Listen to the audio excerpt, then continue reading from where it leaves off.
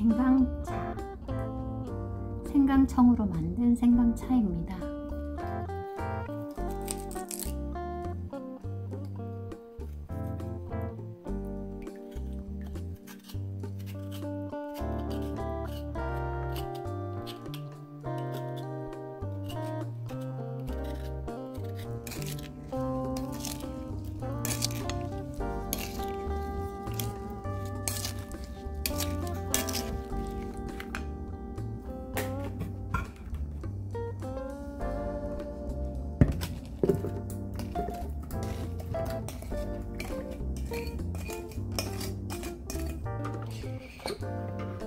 Ah.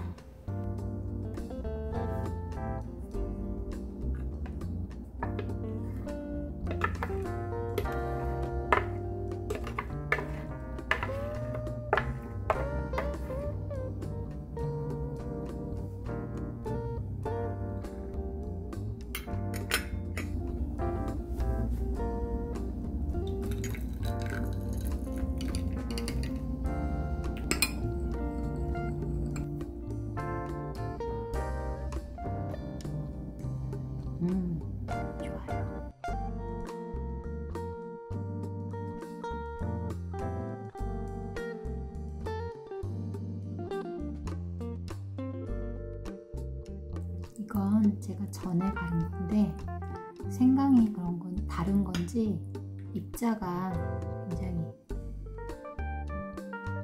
굵어요. 섬유질도 많고